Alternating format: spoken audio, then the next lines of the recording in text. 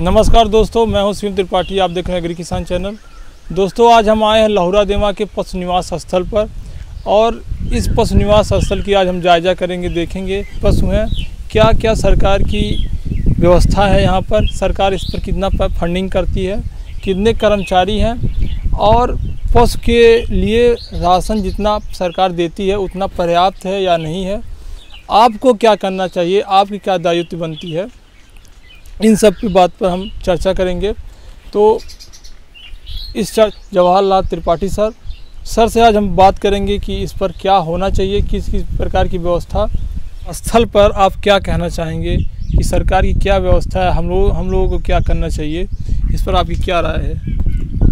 मेरी राय है, सरकार ने एक अच्छी सोच के साथ जगह जगह पशु आश्रय स्थल बनाया। ये जानवर जो है स्लाटर हाउस में भेज दिए जाते थे, कट जाते थे। और ये हमारी क्या जो है, जनता की ये ज़िम्मेदारी है कि यहाँ पर जो भी सरकार की योजनाएँ हैं, ये पूरी नहीं हैं। इसमें जनता की भी सहभागिता ज़रूरी है।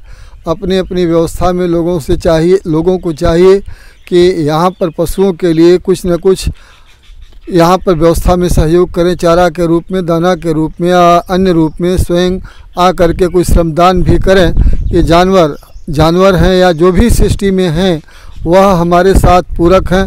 इनके बिना हमारी सृष्टि अधूरी है। इनका रहना ज़रूरी है। इनका दूध, इनका मूत्र, इनका गोबर सब उपयोगी है। तमाम ऐसे खाद्य पदार्थ हैं जो हमारे लिए समस्या बन जाएगी। इसको ये खा करके फिट कर देते हैं, उपयोगी बना देते हैं। तो सरकार ने जो एक योजना बनाई यहाँ पर हाँ हम ये मानते हैं कि वो कम है, पर्याप्त नहीं है। लेकिन सरकार से भी निवेदन करेंगे कि अगर आपकी व्यवस्था में बन सके तो यहाँ कुछ और दें। साथ ही साथ हम जनता से भी निवेदन करेंगे कि आप भी ऐसी योजना में जो है अपनी सहभागिता सुनिश्चित करें अपने पास से जो कुछ भी आप चाहे समूह के रूप में बन सके आप करें। यहाँ पर कितने कर्मचारी काम करते हैं? चार। चार कर्मचारी। अच्छा ये बताइए सरकार के द्वारा कितनी फंडिंग होती है?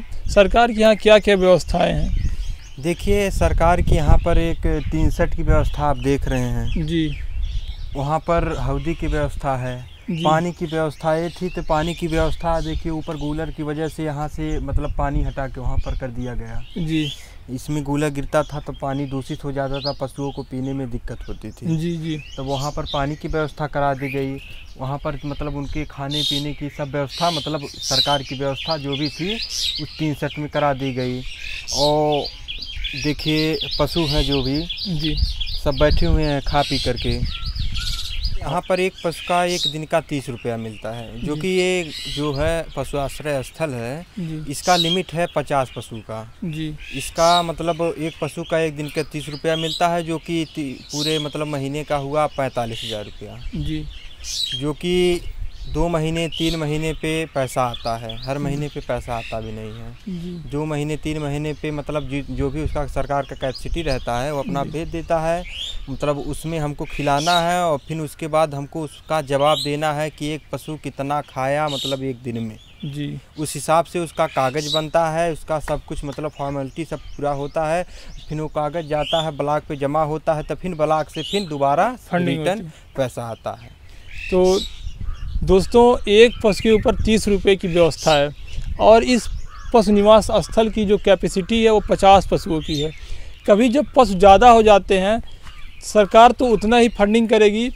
जो ज़्यादा पशु हैं एक्स्ट्रा पशु के लिए कुछ आपका भी दायित्व बनता है। जैसे अभी हमारे सर थे, जो पाँच टाली भूसे का व्यवस्था किए हैं, वैसे आपके अगल बगल जितने भी पशुशाला है, आप भी कम से कम एक टाली की व्यवस्था करें। आपसे अपील है, हाथ जोड़कर अपील है कि क्योंकि आप मरने से पहले पशुदान करते हैं। आप कुछ जीते जी पशुदान कर दें तो आपके लिए भी अच्छा काम रहेगा।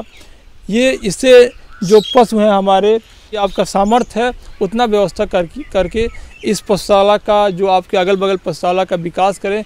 बहुत बहुत धन्यवाद। वीडियो आपको अच्छी लगी ज़रूर शेयर करें। चैनल को सब्सक्राइब करें। Thank you